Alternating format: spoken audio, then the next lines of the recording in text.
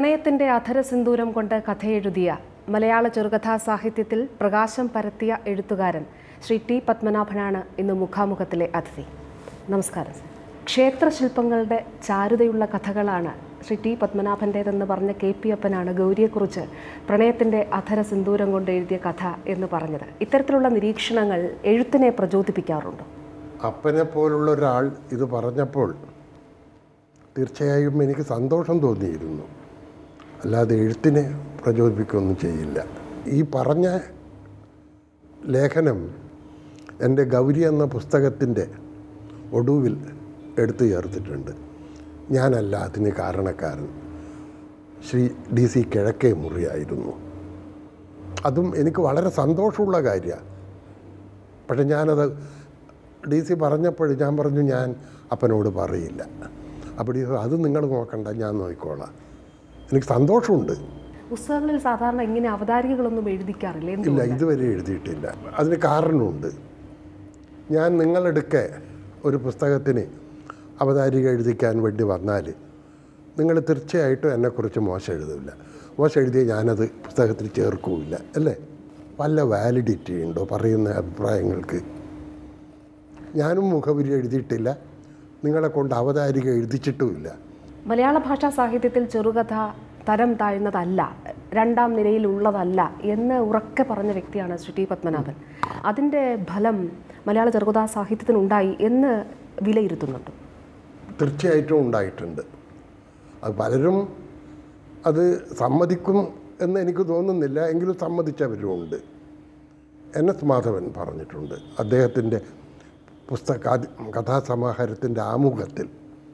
അദ്ദേഹം എഴുതി തന്റെ അഭിമുഖങ്ങളും തന്റെ പ്രസംഗങ്ങളും ലേഖനങ്ങളും ഒക്കെ കൊണ്ട് സാഹിത്യത്തിന്റെ പുറന്തളത്തിൽ കിടന്നിരുന്ന ചെറുകഥയെ അകത്ത് കൊണ്ടുവന്ന് മാന്യമായ ഒരു സ്ഥാനത്ത് ഒന്നാം തരം ആസനം നൽകി പ്രതിഷ്ഠിച്ചത് പത്മനാഭനാണെന്ന് അങ്ങനെ ഒരാൾ അക്നോളജ് ചെയ്തിട്ടുണ്ട്. വേറെ ആരും വേറെ ആരും പറഞ്ഞിട്ടില്ല. എന്തുകൊണ്ടാണ് നോവൽ എഴുതാതിരുന്നത്? നോവൽ എഴുതാത്തതിന് രണ്ട് മൂന്ന് കാരണമുണ്ട്.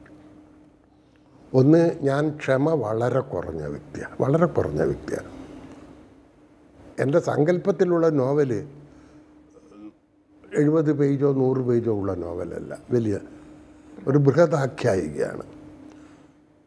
നല്ല സമയം വേണം. ക്ഷമയില്ല എനിക്ക്. പിന്നെ മറ്റൊരു വാശിയുണ്ട്. എന്റെ ഏറ്റവും പ്രിയപ്പെട്ട കവി കുമാരനാശാൻ. കുമാരനാശന്റെ കാലത്തുള്ള മറ്റു രണ്ട് മഹാകവികൾ വള്ളത്തോളും ഉള്ളൂരും. രണ്ടാളും ക്ലേശിച്ച് വളരെ ദീർഘമായ രണ്ട് മഹാകാവ്യങ്ങൾ എഴുതി. ഉള്ളൂരിന്റെ ഉമാകേരളം എനിക്കിഷ്ടമാണ്. ഞാൻ ധാരാളം വായിച്ചിട്ടുണ്ട്. വള്ളത്തോളിന്റെ ചിത്രയോഗം ഒരിക്കലേ വായിച്ചിട്ടുള്ളൂ. അത് തന്നെ ഏറെ വില കൊടുത്ത് വായിച്ചതാണ് ദുസ്സഹ. ആശാൻ പറഞ്ഞു അടുത്ത സുഹൃത്തുക്കൾക്ക് എഴുതുകയും ചെയ്തു. ഞാനൊരിക്കലും മഹാകാവ്യം എഴുതുകയില്ല. എഴുതാതെ കൊച്ചു കവിതകൾ കൊച്ചു കവിതകൾ കണ്ട കവിതകൾ എഴുതി ഇവരെ കൊണ്ട് എന്നെ മഹാകവി എന്ന് വിളിപ്പിക്കാൻ കഴിയുമോ എന്നൊന്ന് നോക്കട്ടെ. മഹാകവി എന്ന് മറ്റുള്ളവരെ കൊണ്ട് വിളിപ്പിക്കുകയും ചെയ്തു.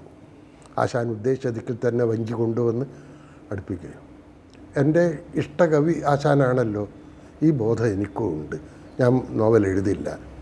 നോവൽ എഴുതാതെ തന്നെ മലയാളത്തിലെ ഏറ്റവും വലിയ കഥാകൃത്താണ് ഇയാൾ എന്ന് ചുരുക്കം ചിലരെ കൊണ്ടെങ്കിലും അതും എണ്ണപ്പെട്ട ആൾക്കാരെ കൊണ്ട് പറയിപ്പിക്കാൻ എനിക്ക് കഴിഞ്ഞിട്ടുണ്ട്.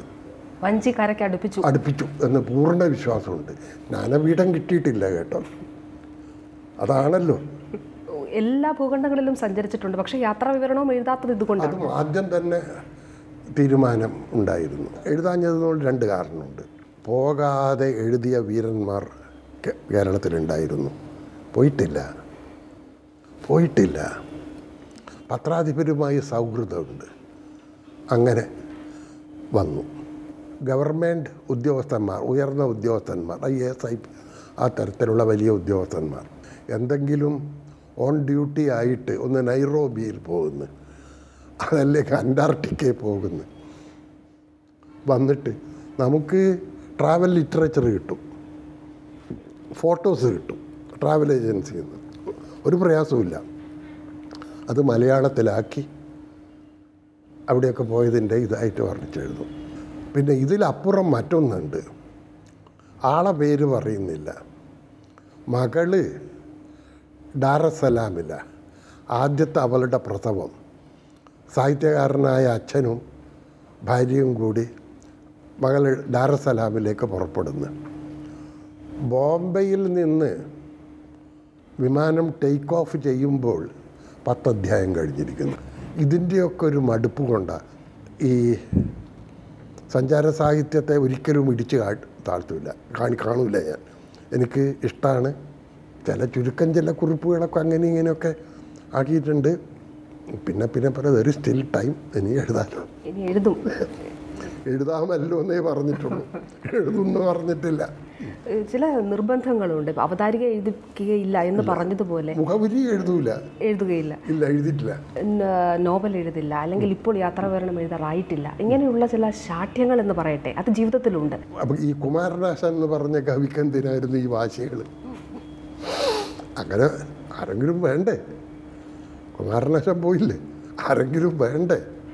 ഞാനിങ്ങനെ ഒറ്റയ്ക്ക് മടിയിൽ ആശാന്റെ ഏതെങ്കിലും ഒരു കൃതി എടുത്തിട്ട് വൈകുന്നേരം പുറത്ത് വന്ന് ഇരുന്ന് അതിലിങ്ങനെ മുഴുകി ഇങ്ങനെ അത് വെറുതെ വെക്കുന്നതാ. ക്രിസ്ത്യാനികളും മറ്റും പള്ളിയിൽ പോകുമ്പം ബൈബിൾ അവർ ബൈബിൾ മനപ്പാടാണ് എന്നാലും ഇത് പിടിക്കും. അതുപോലെയാണ് എനിക്ക് ആശാന്റെ കൃതികൾ മനപ്പാടാണ്. പക്ഷേ എന്നാലും ഒരു പുസ്തകം എടുത്ത് വെച്ചിട്ട് വീണ്ടും വീണ്ടും വീണ്ടും അതിലിങ്ങനെ രസിക്കുന്നത്? ആശാനന്റെ ഇഷ്ട കവി. എഫ് എസ് സി ടിയിലെ ജീവിതമാണ്. എഴുത്ത് ആ ഒരു കാലഘട്ടത്തിലാണ് എഴുത്ത് സജീവമായി. വളരെ കുറച്ച് എഴുതിയിട്ടുള്ളൂ നൂറല്ല നൂറ്റി എഴുപതോളം അതെ. നൂറ്റി അത് ഔട്ട്പുട്ട് വളരെ കുറവാണ് മീഗർ ഔട്ട്പുട്ടാണ് എന്തു അത് അതെന്തുകൊണ്ടാണ് അങ്ങനെ ധൃതിയൊന്നും ഉള്ള ഒരുത്തനല്ല. എപ്പോഴും ഇങ്ങനെ ഒരു ദിവസം നാല് കഥ എഴുതണം അഞ്ച് കഥ എഴുതണം എന്നുള്ളൊരു വാശിയൊന്നും എനിക്കില്ല. ഒരു കഥാബീജം മനസ്സിൽ വന്നാൽ ദിവസങ്ങളോളം ആഴ്ചകളോളം അതിങ്ങനെ ഇട്ട് കളിക്കും. ഒരു പരുക്കൻ സാധനം ഈ ചിപ്പിയുടെ ഉള്ളിൽ പോയാൽ പിന്നെ അവിടെ നിന്ന് വേദന തന്നും കൊണ്ട് അതിങ്ങനെ നിൽക്കുമ്പോൾ ഈ സെക്രീഷൻ കൊണ്ട് ചിപ്പി അതിനെ കവർ ചെയ്യും. പിന്നെയും അതിങ്ങനെ അലോസരപ്പെടുത്തും. ഇരുപത്തിരണ്ടാമത്തെ വയസ്സിലാണ് പ്രകാശം പരത്തുന്ന ഒരു പെൺകുട്ടി എഴുതുന്നത്. അതെ. അറുപതാമത്തെ വയസ്സിലാണ് ഗൗരി എഴുതുന്നത്. പക്ഷെ പ്രണയത്തിന് മാറ്റമില്ല. ഗൗരിയിൽ ആദ്യത്തെ വാചകം. ആറുമാസത്തെ ഇടവേളയ്ക്ക് ശേഷം അവർ വീണ്ടും കാണുകയായിരുന്നു. ഒരു ചെറിയ ചുർണികാവാക്യം അല്ലേ? ഒരു ചെറിയ ചുർണികാവാക്യം. വേണമെങ്കിൽ ഇത്ര നീളമുള്ളൊരു വാചകമാക്കാം അല്ലേ? ഒരു രണ്ടോ മൂന്നോ പാരഗ്രാഫ്സ് നീളമുള്ള അങ്ങനെ എഴുതുന്നവരുണ്ട്. ഞാൻ ആളെ പേര് പറയുന്നില്ല. നെടുങ്കൻ നെടുമ്പാമ്പ് പെരുമ്പാമ്പ് ഇഴയുന്ന മാതിരി. Nobody knew the colour of the sky ആറുമാസത്തെ ഇടവേളയ്ക്ക് ശേഷം അവർ കാണുകയായിരുന്നു. ഗൗരി ക്ഷീണിച്ചിട്ടുണ്ടെന്ന് അയാൾക്ക് തോന്നി. അതൊക്കെ ഉള്ളുന്ന് വരണം. ഉള്ളുന്ന് വരണം. ഉള്ളിലുള്ളതിനെ ബോധപൂർവം ഊതി ഊതി വലുതാക്കാനും കഴിയും. കഥകളിലെല്ലാം ആത്മാംശമുണ്ട്. എനിക്കുണ്ട് തീർച്ചയായിട്ടും. എനിക്കുണ്ട്. ആത്മാംശം ഇല്ലാത്തത് വളരെ കുറച്ചേ ഉള്ളൂ. എനിക്കുണ്ട്. അമ്മ ഉണ്ട് ഉണ്ട് ഉണ്ട് ഉണ്ട് ഏടത്തി വരുന്നുണ്ട്. സോളാർ വിഷയത്തിൽ ഒരു ദിനപത്രത്തിൽ എഴുതി കണ്ടിരുന്നു. ഉപരോധ സമരം അനാവശ്യമാണ് എന്നത്. ഞാൻ ചോദിക്കുന്നത് അത്തരത്തിലൊരു രാഷ്ട്രീയ ഇടപെടലുകൾ ഒരു എഴുത്തുകാരനെ സംബന്ധിച്ചിടത്തോളം എത്രത്തോളം ആവശ്യമായി വരും? ഞാൻ സജീവ രാഷ്ട്രീയത്തിൽ ഉണ്ടായിരുന്ന വ്യക്തിയാണ്. അത് രാഷ്ട്രീയ ഇന്ത്യയ്ക്ക് സ്വാതന്ത്ര്യം കിട്ടുന്നതിന് മുമ്പാണ്. ഞാൻ നാൽപ്പത്തി മൂന്നിൽ ഞാൻ തേർഡ് ഫോമിൽ പഠിക്കുന്ന കാലം മുതൽക്ക് ഖദർ മാത്രം ധരിക്കുന്നു. ഇന്നും ഖദർ മാത്രം ധരിക്കുന്നുണ്ട്. വിമോചന ജയിലിലും പോയിട്ടുണ്ട്. പോയിട്ടുണ്ട്. കൃതികളിൽ ആകമാനം സംഗീതത്തോടുള്ള ഒരു അഭിവാഞ്ചിയുണ്ട് വളരെ വളരെ ശക്തമായിട്ട് തന്നെയുണ്ട്. പല കഥകളുടെ തലക്കെട്ട് തന്നെ അതെ. സംഗീതമാണ്. സംഗീതം പഠിക്കാതെ പോയതിലുള്ള ഒരു അങ്ങനെ ഒരു വിഷമമുണ്ട്? എനിക്കൊരിക്കലും പാടാൻ കഴിയില്ല എന്നുള്ളത് തീർച്ചയാണ്. അതിനെപ്പറ്റി ഒരു സംശയമില്ല പക്ഷേ ഞാൻ ധാരാളം പുസ്തകങ്ങൾ വായിക്കും. പിന്നെ കച്ചേരികൾ കേൾക്കും.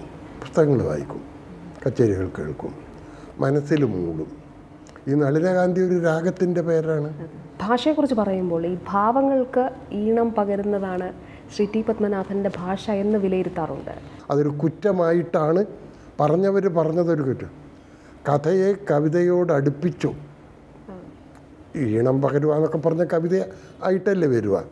ചില പുരോഗമനക്കാർ ഒരു കുറ്റമായിട്ട് ആണ് എനിക്ക് ചാർജ് തന്നത്. പക്ഷേ ആ മാല ഞാൻ എടുത്ത് അണിഞ്ഞുകൊള്ളാം തെറ്റായാലും എന്തായാലും ഞാനത് സ്വീകരിച്ചോളൂ. മ്യൂസിക്കുണ്ട്. ഇനി വേറൊന്നും പറയാം. ചില കഥകളിലെ ചില പാരഗ്രാഫുകൾ ഒരുതരം നാർസിസിസം നിമിത്തം ഞാൻ തന്നെ വായിച്ച് രസിക്കാറുമുണ്ട്. അതിലെ മ്യൂസിക് അതിലെ മ്യൂസിക് എനിക്ക് അനുഭവിക്കാൻ കഴിയും. ഞാൻ തന്നെ വായിച്ച് രസിക്കും എന്നിട്ട് പറയും എടാ നീ ഇത് വലിയ ജോറാക്കിയിട്ടുണ്ടല്ലോ എന്ന് എന്നോട് തന്നെ വേറെ നിങ്ങളാരും പറയില്ല. പറയാനുള്ള കഴിവുമില്ല. എന്നാൽ പിന്നെ ഞാനെങ്കിലും എന്നോട് പറയട്ടെ? ഒരു ഏകാന്തതയുണ്ട്. ഏകാന്തതയുടെ ഒരു അംശം കഥാപാത്രങ്ങൾക്കുണ്ട്. എഴുത്തുകാരൻ എവിടെയും സത്യത്തിൽ ഒറ്റക്കല്ലേ ആണ്. ഞാനാണ്. ഞാനാണ്. ക്ഷിപ്ര കോപിയാണ് എന്നുള്ളത് ഒരു സ്വയം വിമർശനമായി എപ്പോഴെങ്കിലും ചിന്തിച്ചിട്ടുണ്ട്. അല്ല അതും അമ്മയും വലിയ കോപിയായിരുന്നു ഒരുപാട് അമ്മയുടെ കിട്ടിയതായിരിക്കും പക്ഷേ അമ്മയുടെ ഒരു ഗുണം മക്കളോടെ കോപം കാണിക്കുള്ളൂ മറ്റുള്ളവരോട് ഒരിക്കലും കാണിക്കില്ല. ഞാൻ എല്ലാവരോടും കാണിക്കും.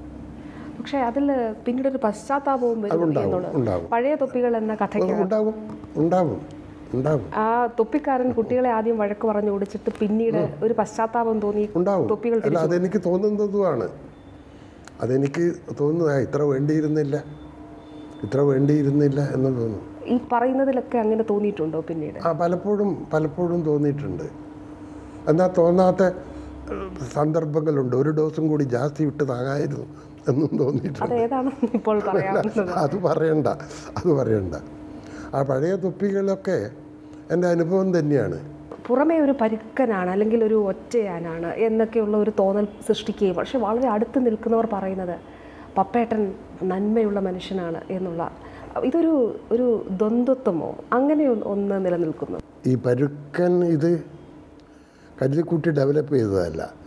പക്ഷെ അതുകൊണ്ട് ഗുണമുണ്ടായിട്ടുണ്ട് നേരത്തെ ഗൗരിയുടെ തുടക്കത്തെക്കുറിച്ച് പറഞ്ഞു. അത് വേറെ രീതിയിൽ വലിയ അലങ്കാരങ്ങൾ കൊടുത്ത് വേണമെങ്കിൽ എഴുതാമായിരുന്നു. ഒരു കൃതികളിലും അങ്ങനെയുള്ള അലങ്കാരങ്ങളോ ഇല്ല. ഭാരമുള്ള ഭാഷയില്ല. അയ്യോ വയ്യ വയ്യേ വയ്യ. അത് കൃത്യമാവും അത് തുടക്കം മുതൽ അങ്ങനെ ബോധമുണ്ട് ബോധമുണ്ട്. തീർച്ചയായിട്ടും ബോധമുണ്ട്. അത് എഴുതൂല എന്നുള്ള ബോധം. അധികം എഴുതൂല. ഒന്നും ഉണ്ടായിട്ടല്ല. ഒന്നും ഉണ്ടായിട്ടല്ല. വേണ്ട കുറച്ച് മതി. പിന്നെ വേറൊരു കാര്യം ഞാൻ പറഞ്ഞില്ല. മലയാളത്തിൽ ഇത് ഞാൻ പറയാൻ പോകുന്നത് വേണമെങ്കിൽ നിങ്ങൾക്ക് പറയാം ഒരു പുളുവാണ്. കളവാണ് എന്ന് വേണമെങ്കിൽ പറയാം.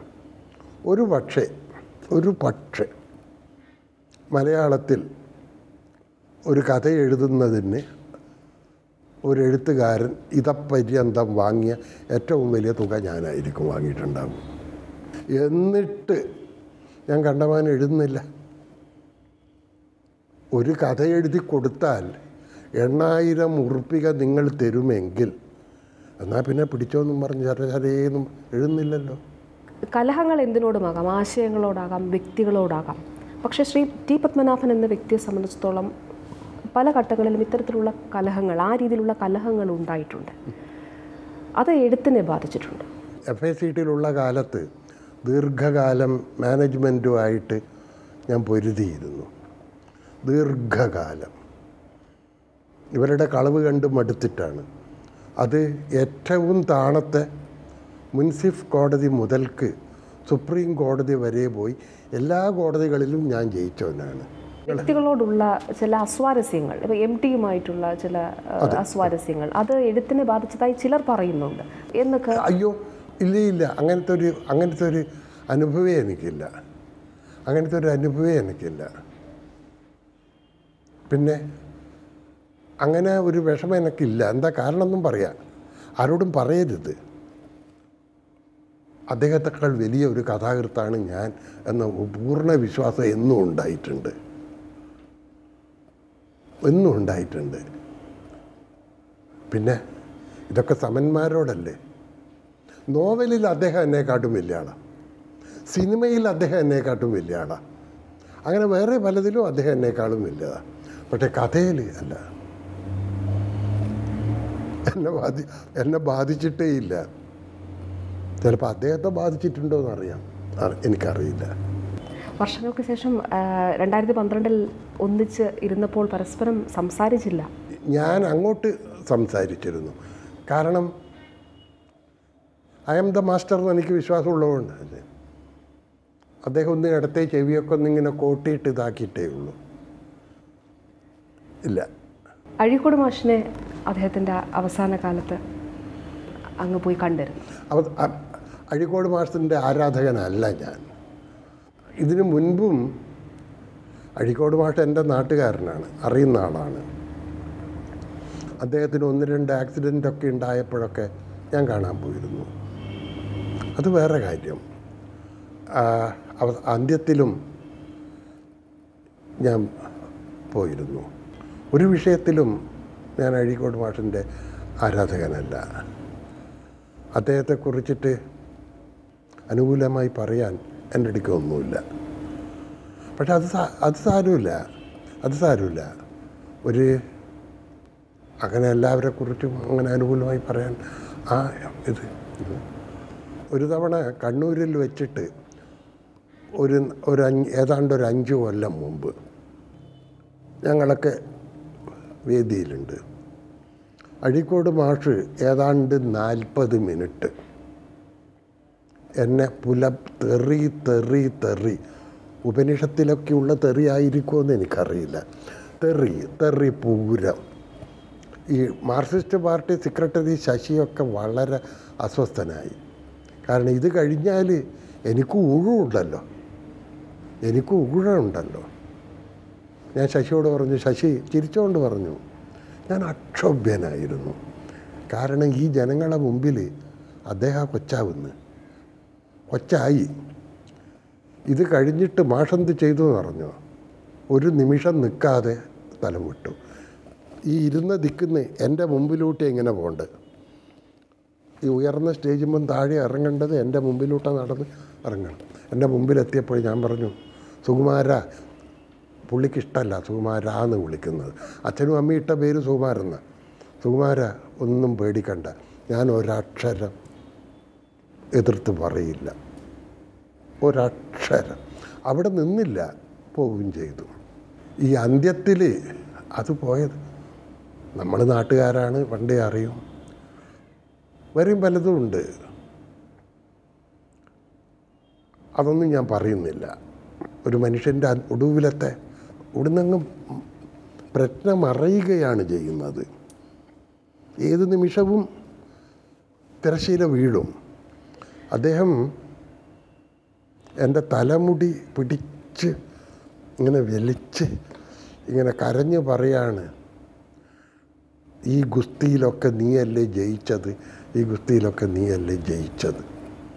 ഇത് പല പത്രങ്ങളും ഈ വാചകം അങ്ങനെ തന്നെ ഈ ഗുസ്തിയിൽ നീയല്ലേ ജയിച്ചത്? സത്യമാണ് ഞാൻ തന്നെ ജയിച്ചത്? പുകാസയെ സംബന്ധിച്ച് വിജയൻ മാഷ് അവിടെ നിന്ന് പോകാനുള്ള കാരണം? എനിക്ക് വിജയ മാഷെക്കുറിച്ച് മതിപ്പ് ഒരു കാലത്തും ഉണ്ടായിട്ടില്ല. ഒരു കാലത്തും ഉണ്ടായിട്ടില്ല. ബോഗസാണെന്ന് വിശ്വസിക്കുന്നവനാണ് ഞാൻ. ബോ ഇത് അനുഭവങ്ങളുടെ അടിസ്ഥാനത്തിലാണ് അനുഭവങ്ങളുടെ അടിസ്ഥാനത്തിലാണ് വിജയ മാഷ മൈനസ് വലിയ വട്ട സീറോ ആണെന്ന് വിശ്വസിക്കുന്നവനാണ് ഞാൻ. ഏ? അനുഭവങ്ങളുടെ അടിസ്ഥാനത്തിലാണ് എം എ ബേബി പറഞ്ഞു കേരളം കണ്ട ഏറ്റവും വലിയ പുരോഗമന കഥാകൃത്ത് ടി പത്മനാഭനാണ്. എം എം ബേബി അത് പറഞ്ഞു അദ്ദേഹത്തിന്റെ അഭിപ്രായം. പിറ്റേന്നാണ് ഇദ്ദേഹം രാജിവെച്ചത്. ഇദ്ദേഹമാണ് അന്ന് ഇതിന്റെ പ്രസിഡന്റും ഇതുമൊക്കെ. അല്ല സംഗതി എം എ ബേബി അത് പറയാൻ പാടില്ലായിരുന്നു. ഇദ്ദേഹത്തോട് ചോദിച്ച് ഇദ്ദേഹത്തിന്റെ പെർമിഷനൊക്കെ വാങ്ങിയിട്ട് വേണ്ടേ പറയാൻ? മിക്ക കൃതികളിലും ഒരു ഉണ്ട്. പ്രകാശം പരത്തുന്ന ഒരു പെൺകുട്ടി കടയനല്ലൂരിലെ ഒരു സ്ത്രീ. ഉണ്ട് ഉണ്ട് ഉണ്ട് ഉണ്ട്. ഇത് ആദ്യമൊന്നും ഞാനിത് ബോധവാനല്ല.